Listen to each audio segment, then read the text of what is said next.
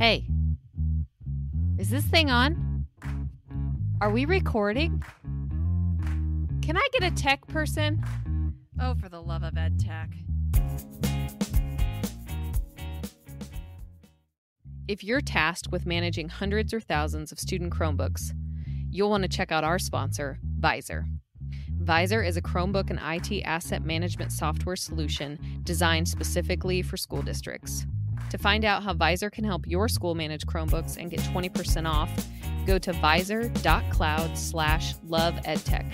That's V-I-Z-O-R dot cloud slash love edtech or click the link in the show notes. Thanks, Vizor. Joining us today are the ladies from Learning Through Art. So, hey, ladies, thank you so much for joining us. Thank you for having us. I'm Kathy Wade. I'm the co founder and CEO of Learning Through Art. We're celebrating now our 31st year of building resilient communities through art. Congratulations. Thank you.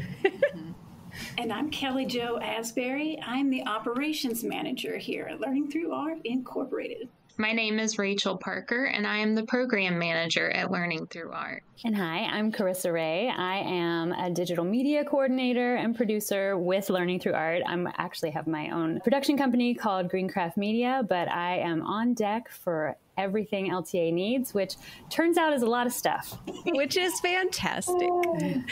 so, yeah, Miss Wade, what is Learning Through Art? How would you explain it to not only us, but our listeners? Well, Learning Through Art is a nonprofit performing arts educational organization where we have dedicated all of our time to building community, resilient communities through art. And we do that in a few different areas. We have a, a national award winning and three time Emmy winning performing arts literacy program called Books Alive for Kids, where we make books come alive through sight, sound, and touch. You read the book, you make a craft, and then there's a show. In addition to that, we also make sure that we are building that community. And everything that we do is based in social emotional learning.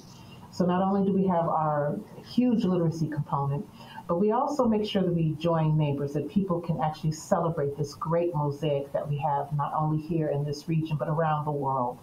And we do that with our, we're bringing our Kids, Cultures, Critters, and Crafts Festival back online with the Cincinnati Zoo and Botanical Garden. Was on hiatus for three years due to COVID. But this will be our 15th edition, and we're looking forward to doing that with a world of possibilities. It'll be a wonderful event. And then we also, I'm a jazz singer, so selfishly, I created a program called Crown Jewels of Jazz, where we celebrate women in jazz because that's sometimes a face that is not seen and heard as it should be in the jazz world. I'm a jazz vocalist. So, with that thought, we were able to create a signature fundraiser, which has now turned into a signature series. And it has been both a full jazz festival to a jazz series. And right now, we're doing Crown Jewels of Jazz series, and it's always held in July on Wednesdays during the month of July, where we celebrate the wonderful idiom of America's classical music, jazz. Then we, last but not least, we I do performing arts educational programming in terms of edutainment, lecture performances, and that's our Mosaic Edutainment division. And we have about two shows that travel all the time: a Black Anthology of Music, which became one of our episodes, which we'll, I'm sure we'll talk about in a bit, and Rhythms Common Bonds, which is a show all about the lesson of respect.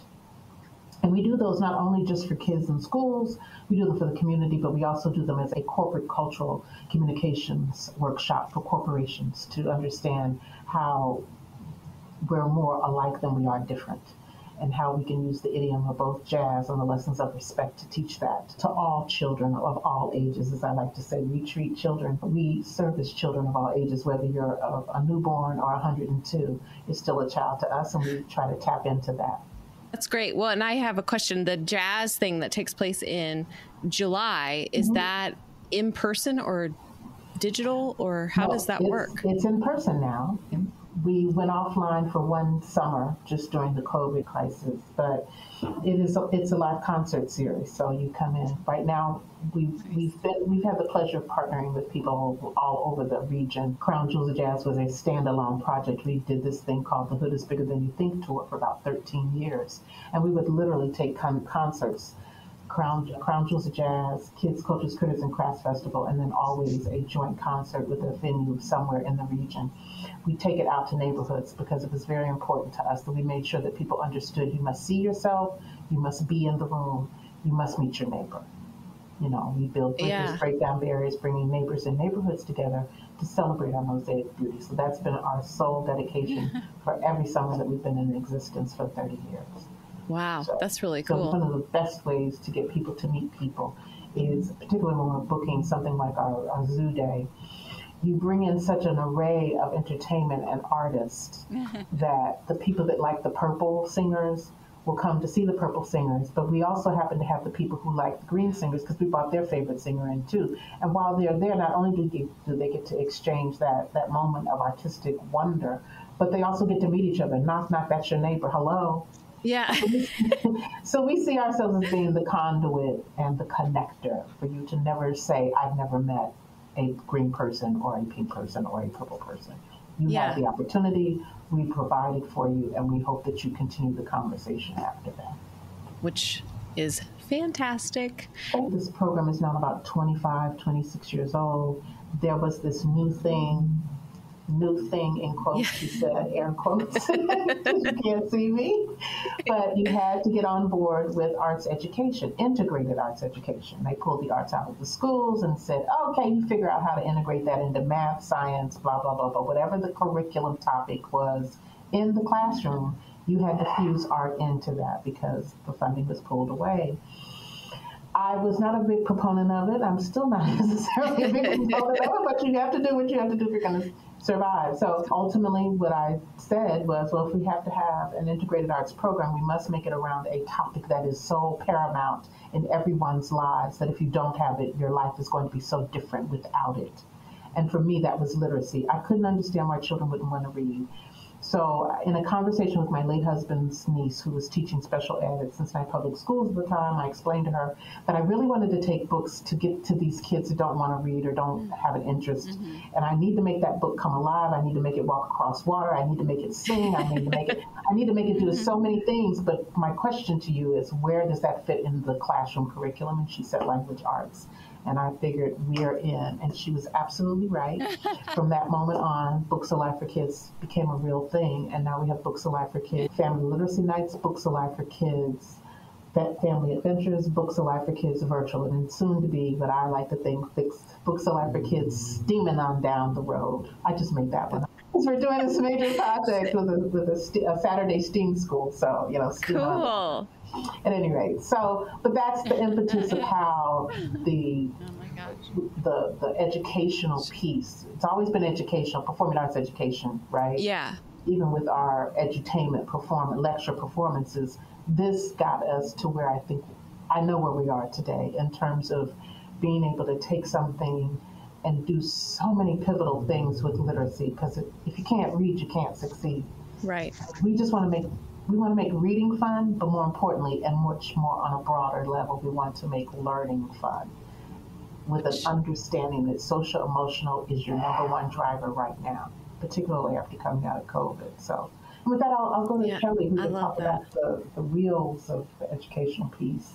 Well, Okay. thank you, Miss Wade. And if I may indulge for just a moment, Kara, mm-hmm. I, I, speaking of education and my own personal journey, I, I didn't even realize that I loved teaching until I was in graduate school. Oh my. And in that second year, they just throw you in and say, here's your assistantship. There's your classroom, go teach. and it was like thrown into a creek and just told to swim. And but that's when I fell in love with it too. And I, I, I started out in post secondary education and I worked for a lot of years over at NKU. And it was those opportunities to create larger, broader brush relationships in education instead of having everything be so compartmentalized. Mm-hmm. I really strove to decompartmentalize and making those relationships not only, again, in academia and crossing So good. departments, but also working within the community in various sectors, uh, working with other institutions on both sides of the river.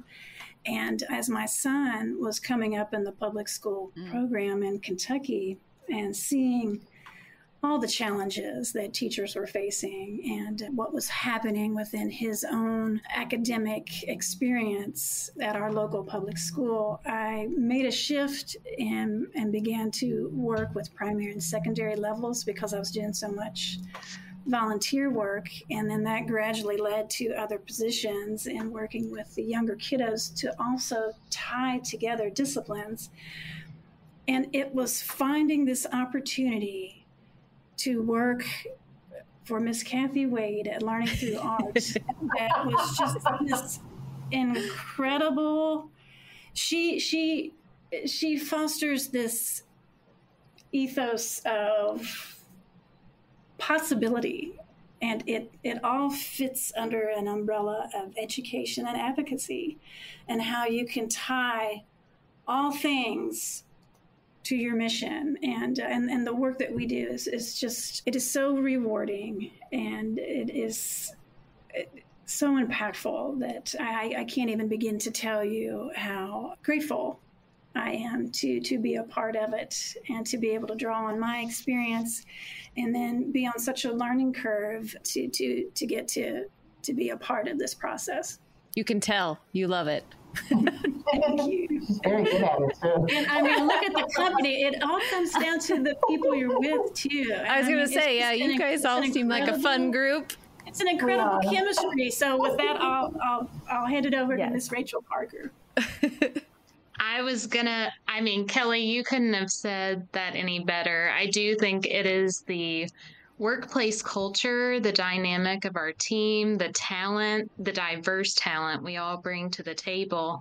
I too am a former classroom teacher. I did Teach for America, which is how I ended up being a teacher. My undergraduate degree was in art history and English writing. So this is very much like a melding of all of the things I love art writing, mm. education in one place. And with Books Alive for Kids, we bring books alive through sight, sound, and touch yeah. for not only the students and the educators, but the families and communities that we serve.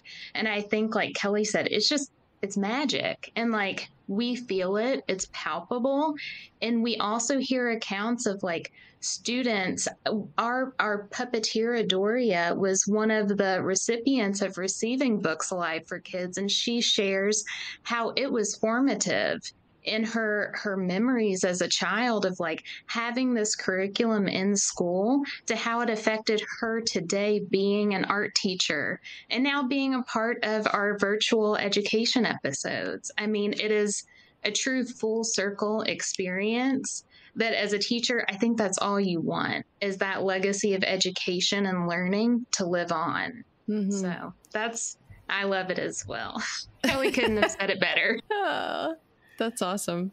All right, and Chris says, "Hi, yes, yeah, yes, you're going. To, yeah, you Sorry, you take I'm it away. Now. No, I'm you're fine. Now. Yes, working with these educators, and I will say mm-hmm. to both Kelly and Rachel's points, and I know Miss Wade has shared similar feelings too. It is all about the company you keep because I think we've both had very dynamic. We've all four had very dynamic journeys to this point and, and this involvement at this time and this new iteration of learning through art. And it's really the team and the vision that makes the difference. I think in a different way, not judging better or worse, but a different way than any of us have experienced with some of the organ- wonderful organizations that we've worked at and even helmed for some of these ladies at the pa- in the past as well. So I came up, I am not an education background, though mad props to educators because I think I know. Well, I'm a mom. I am the, the, team member at this point that has young children who are very much our target audience. And honestly, Miss Adoria, our puppeteer,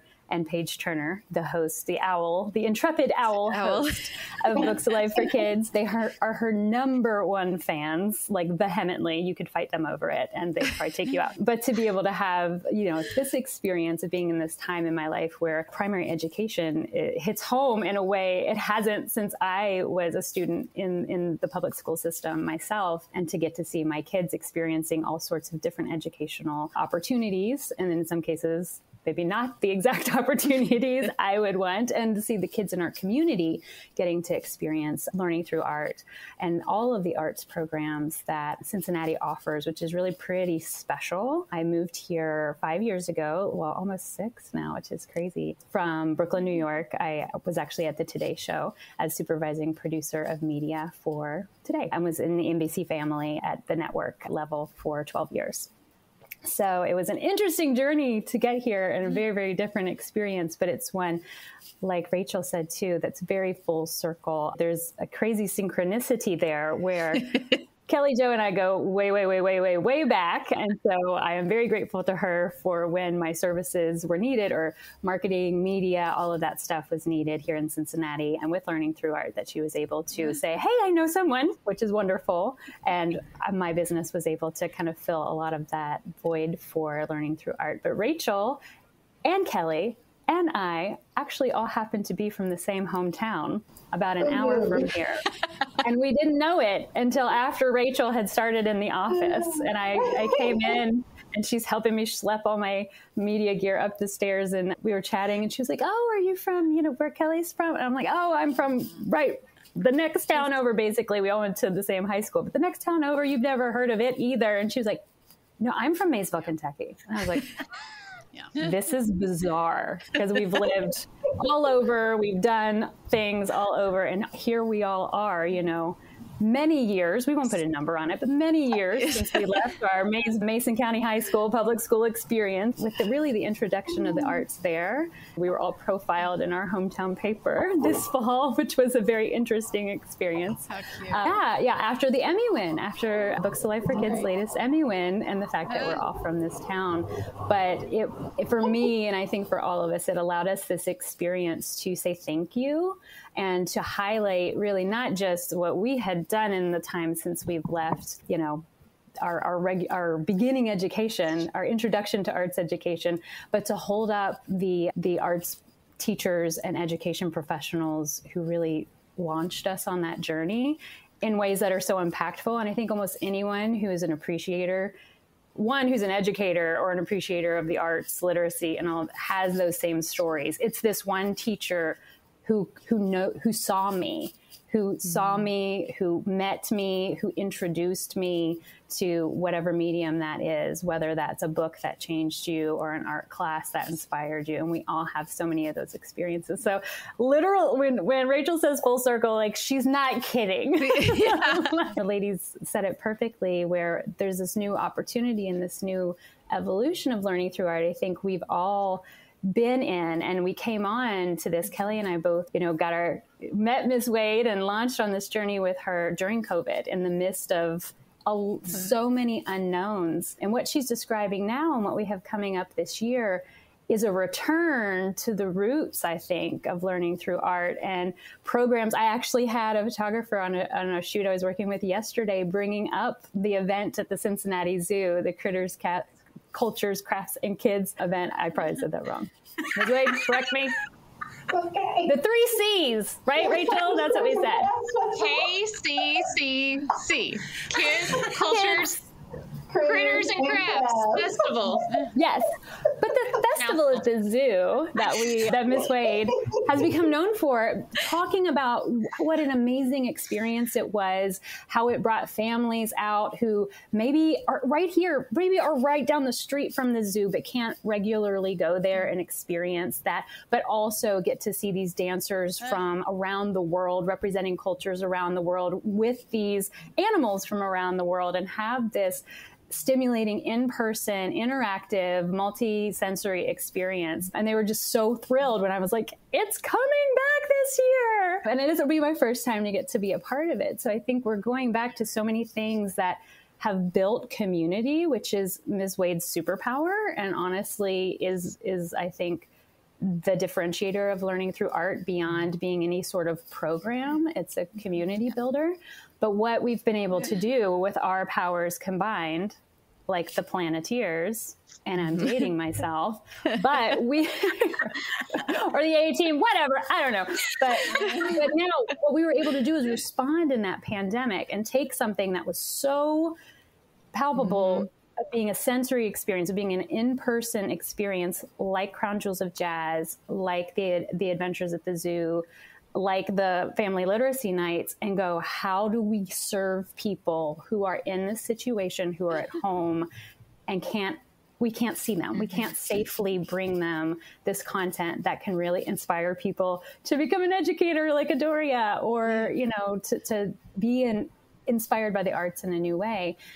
But now Books Alive for Kids is this multifaceted, multi platform experience that's built upon knowing how to reach people in a way that matters to them in person. And, it, and now we can translate back and forth in between these things. We can be that per, that program that a homeschooler puts on or a remote schooler since apparently snow days are no longer happening and I'm so sad for the children of the future because yeah. now they just have to log on to Zoom.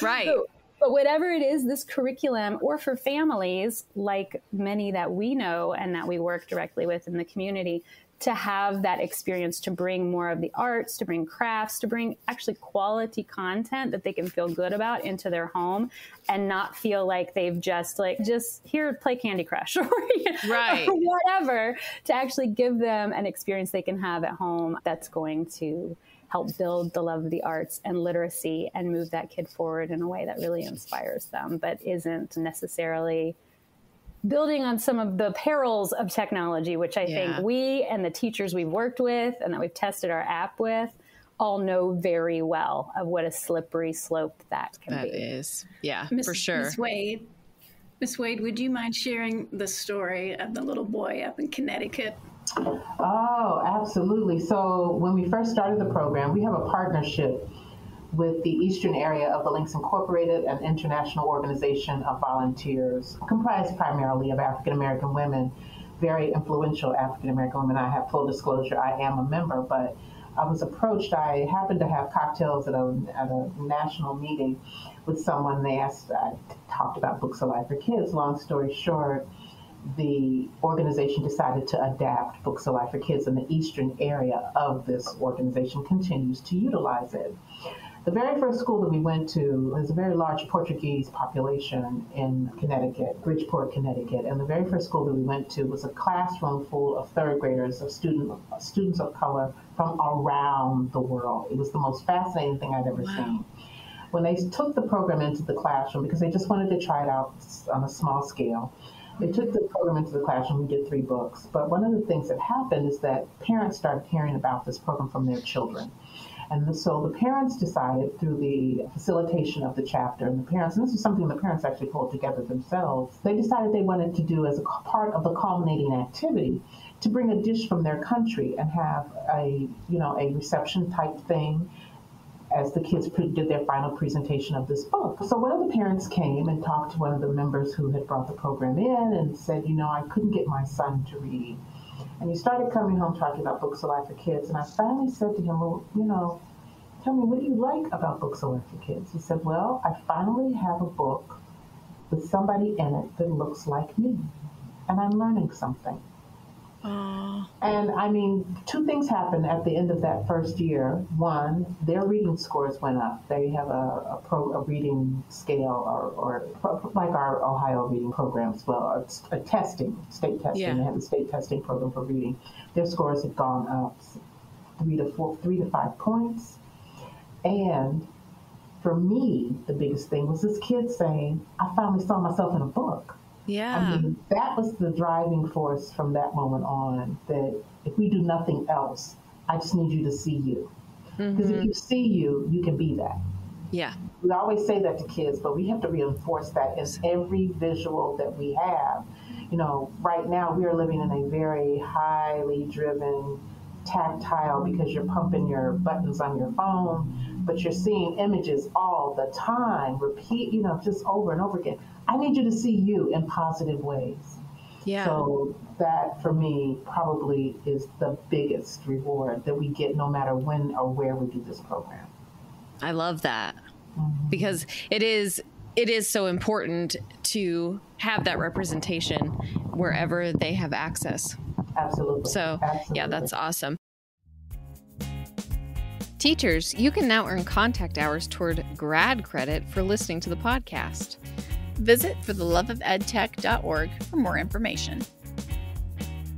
I'm curious, how did you guys decide to go like the puppetry route where you have your well, uh, that's puppet? an interesting question. And I will answer that. So Okay.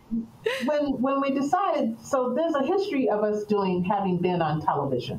Okay. 15 years ago when we well a uh, bit, well probably 15 maybe a bit longer because the program's about 20 25 years old at this point. So early on we had an opportunity to do TV specials on the local CBS Now affiliate, Channel 12 here in Cincinnati.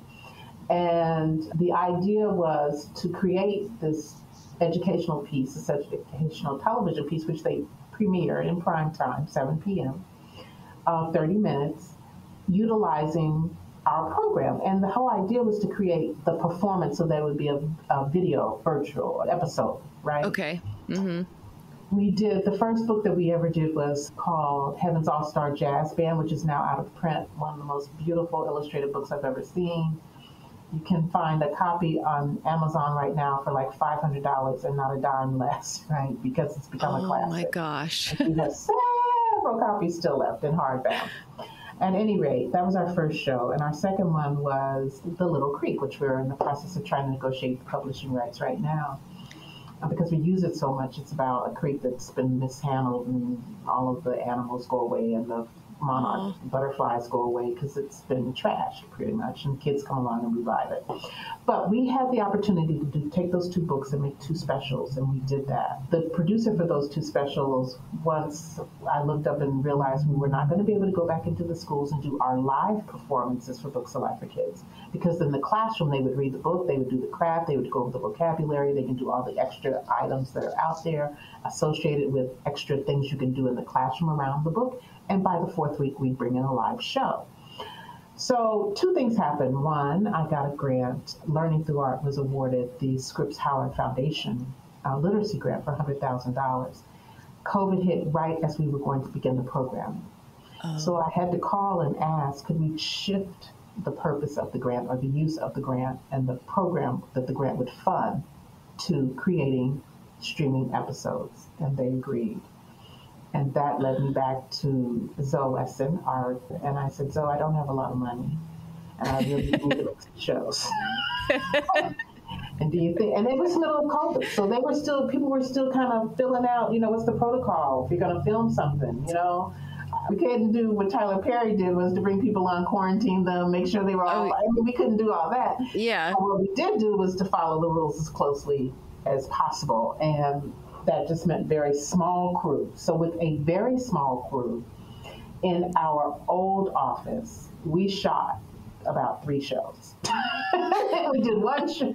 We, those are the full versions, and then we have a mini version we shot behind our building here in Cincinnati. So we had to do that, and as it turned out, it worked out just fine. I mean, we ended up being able to create these episodes. And it was interesting because I've been working with the Children's Theater of Cincinnati to do the live performance. DeAndre Means have been working with me for several years. DeAndre Means and Kevin Bell have been teaching artists who came and worked with us to help us do what we needed to do. And we ultimately ended up, I said to them, you know, I'm, I, we were on our path to, to create these new performances, but unfortunately, we were not able to create them the way that I was used to creating them 10 years, 15 years ago, right? The, mm-hmm. the high polished, no harm, no foul. I just wanted that back. Zoe said yes. We assembled a, a, a crew to do that. We did the first first one, and then I met Carissa, and Carissa became our other producer, became our producer, and brought all of the organization that needed to happen with it too. thank God, thank God. And it's not that it was not organized, but it was. It's so much better now. and we still have a, a, fairly small crew, so it's amazing what we can do with a little bit of resources. And you know, we're we're we're able to now go to people and say, hey, look what we've done, look what we have. This is where we're going. Would you like to partner? And that's pretty much where we are right now, just expanding our partner base. Yeah. Very good. And Miss Wade, I, I, don't know if you got into that our dear puppet Oh, quite as much, but that's but it's also it's our logo. It's the Learning Through Art logo is an owl. So Yeah. that's been and that's Oh. been the case for the whole 31 years, Ms. Wade. Is that right? Well, no, actually, well, yes, the owl has been. But Mm-hmm. to your point about the owl, and I'm so sorry. The reason I brought it's it okay. so is because that's how we got to the puppet. Mm-hmm. You said to me as we started down this road, "You should have a puppet." I was like, really? But you know what? let's go get a puppet. Here's the thing, though. Here's the thing, guys. I want to. Uh, this is this is the kids coming out at Thanksgiving dinner. Dad says when I talk to Zoe, I've heard him tell this same story many times. Our director Zoe West, and he'll be like, "Kathy Wade came to me and was like, I'm getting a puppet," and I'm like, "Kathy, you're crazy." So either way, the root, the mystery of the origins of the puppet aside, um, I will say, from my producer brain media TV perspective, the beauty of the episodes that have been put together, from you know the one that Ms. Wade was in progress when we met, to the ones that we've done since, and her regional Emmy award-winning brother is actually in several of the episodes. He's incredibly talented, Rico Bruce Wade, and he has written some of the episodes, many of the first ones, especially that we worked on. And what they've been able to capture that we have run with is Paige, the owl, is really, I mean, it's portrayed by an art teacher, which I can't think of a better fit for that role. But she is the child. She is the eyes of the child in our program. And that's how she is written and that's how she is delivered is that she flies in and you see Paige. So in every episode, as Ms. Wade said, just like in person, we have a read along. So we read a beautiful picture book together that's picked for social emotional learning principles and and Kelly and Rachel are really building that beautiful library around all of that and every book is very diverse as Ms. Wade said that shows you see yourself as a mm-hmm. child no matter your circumstance or the color of your skin in so many of these books and you learn a lot so we've had everything from early education with, that we've done as shows the, the library is massive and beautifully curated but we've done everything from giraffes can't dance which was a favorite of my girls when they were teeny weenies to chrysanthemum which i know a lot of early education parents i know are like i love that book so much which because talks about bullying and there's an amazing teacher character in that to what we did last year is our huge most epic well i mean we might have topped it this year actually but at the time our most epic production was the sound that jazz makes. And it's a book that traces the trajectory of jazz music all the way from africa through slave ships through field songs through spirituals through gospel through ragtime into modern day jazz of course and then modern day rap hip hop and soul music. So it's and it's and it's a it's some big topics, but it's portrayed in a way that kids can understand, and the pictures are gorgeous. But our show and the writing of the show leans into that so fantastically because Paige comes in and she's that kid, and she's going to have that.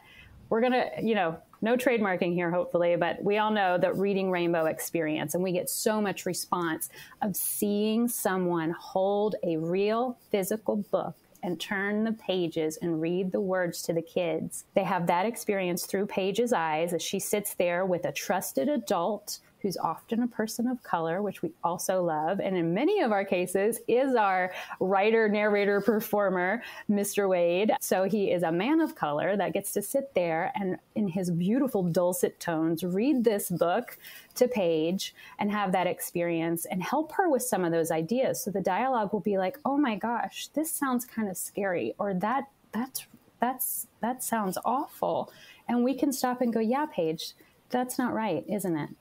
This is how we feel. And then we break vocabulary words out of there. And then we'll go do a craft. And in Chrysanthemum's case, it was a perfect fit because it's a it was a boutonniere that you wear to show that you're against bullying. I mean, these ladies have put it all together. They've made gold that literally injected itself perfectly into being a television program, an app, a in-person performing arts experience, and it's something I think for all of those, it's a performing arts program you can go in this community and be a part of and go to these special events and get excited to do something special with your family.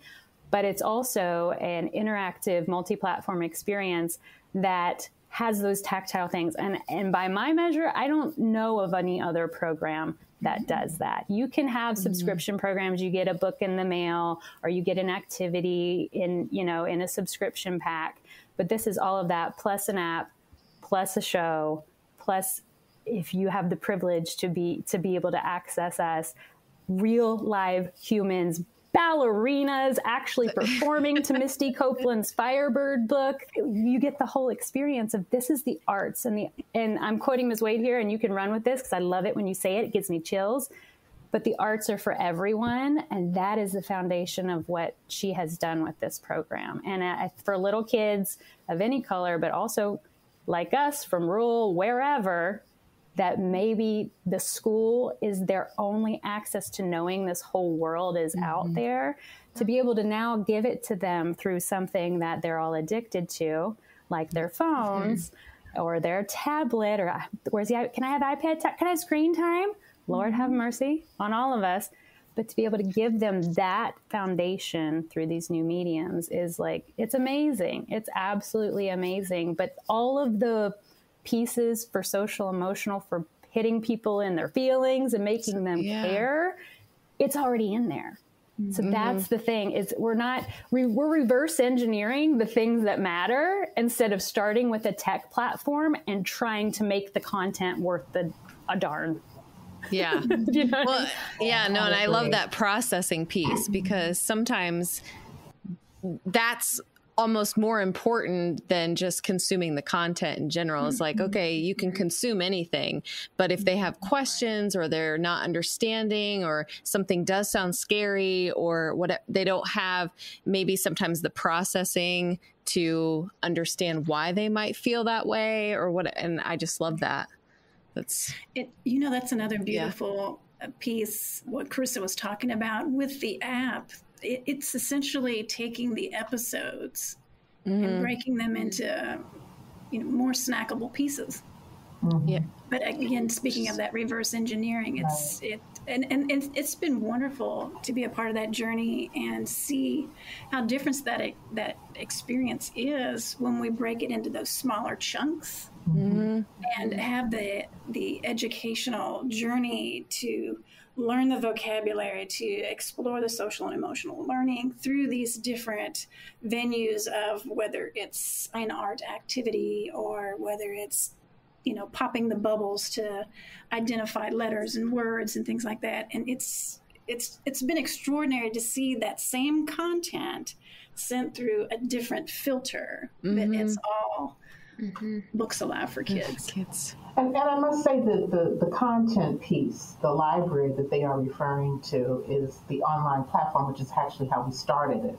I realized that we had put together the study guides and the vocabulary and all of that. But what really struck me was just how Kelly was able to come in and truly embellish and add to and make our library even more relevant. So it all seamlessly works together. You can go online and find your books. You can find all of our study guides. You can find the book pack plan. You can find, I love the vocabulary because we translate into four languages just through the work that we've done as a lead agency recently at one of the largest schools in the Cincinnati public school system. Excuse me, Rachel actually joined us as the resource coordinator at that particular school, at that community learning center. And one of the battles that we I shouldn't say battle, but one of the things that we are so sensitive about is if you can't communicate with your your your parents and your kids across all these countries, what are you doing, right? Mm-hmm. So taking on that I won't say fight, but taking on that that role of trying to make the playing field even is exactly what Rachel did. And so one of the languages that they really needed to make permanent, they finally are recognizing, right? Yeah. And what a difference that made. I mean, we ended up mm-hmm. moving kids out of the ESL program. I go, Rachel and the ESL people ended up moving kids out of the program, which is not it's unheard of, right? Yeah. Simply by acknowledging, we need to make sure they see themselves and can talk to us. Yeah. So there's not that their parents don't care. You're not talking to them. That was the mm-hmm. big thing. So being able to be able being able to capture that within our online platform is so important. I mean, it's basically, I tell people all the time, you can go on, on our library, our, our online platform, and click anything that you need. It's designed, one, to make it very convenient for teachers, but even more so for families, mm-hmm. for parents, and for kids. Well, and I just love it. So well. yeah. Well, and I, I just love, I think the thing I love the most too about it with all the things combined is just the arts focus because you know a lot of kids don't get the exposure they may not have it in school they may not have the opportunity to experience things outside of school and i, I just think that i think they're undervalued and but very very important mm-hmm. because as you said the arts are for everyone Well said, Kara. Thank you for joining us. We hope you enjoyed our discussion today. If you like our podcast, please don't forget to subscribe to get notified when new episodes are released. For more information about our podcast and to access links and resources referenced in this episode, check us out at fortheloveofedtech.org.